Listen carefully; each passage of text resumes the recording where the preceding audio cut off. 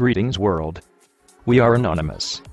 We will now be commencing Operation Venezuela and Operation Gran Colombia. The deployment of these operations is for the liberation of the people in Venezuela and Colombia.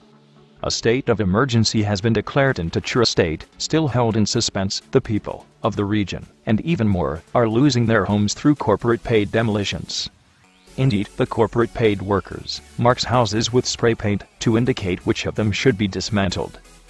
More than 1,500 Colombian citizens have been deported from Venezuela because of the border conflict. 300 homes have been revised, and more than 800 are homeless, traveling along the trails between the two countries. Anonymous users of the social network Twitter reported that the houses of the Colombian people that are being deported are marked by guard officers of National Bolivarian with the letter R and D. The brand that condemns houses to be demolished from the Colombians deported.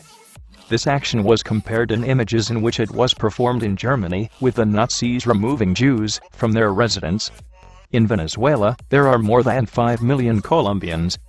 Do they plan on deporting them all? Someone said that human cruelty is a mystery that does not grant any honorable exit. President Nicolas Maduro and the Venezuelan military should be accountable for forcibly removing humble Colombian families from their homes and having them crossing the border, linking the two brotherly countries with the sadness on their faces and frets on the backs. And the litany of deportation is this I built with effort all my life. You hear between silence and tears a man saying, Now I have to start from 0 to 50, and in the Chinese motorcycle that I could buy, I will ride my daughter, my wife, my cat, and a mattress. With it, I will cross the border river.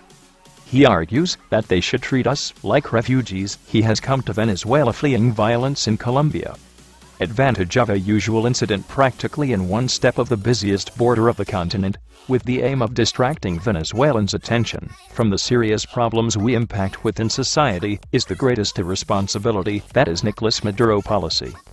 What Nicolas Maduro and the military regime is doing to the people, borders municipalities of Táchira, and especially Colombian inhabitants, has only compared to the night of the broken glass executed by Adolf Hitler against the Jewish community in Nazi Germany.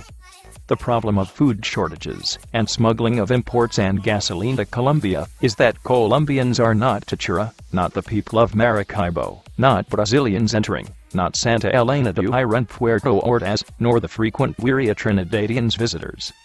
The problem is the lack of domestic production, which fails to meet the nation's demand after more than 17 years of progressive destruction of the Venezuelan production unit the border closure and suspension of constitutional guarantees by a usual incident in the border state, it is given on the grounds other than the regime's argument. Venezuela, keep your heads high. Do not be slaves. The most coward act is defending a tyrannical leader. Colombian brothers and sisters, Nicolas Maduro and his regime are not Venezuela. We are also victims.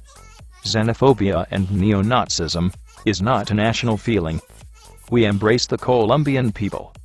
Every human being, even without legal papers, deserves respect and due process. The violation of civil and human rights is not a show, they are evil deeds of those in so-called power.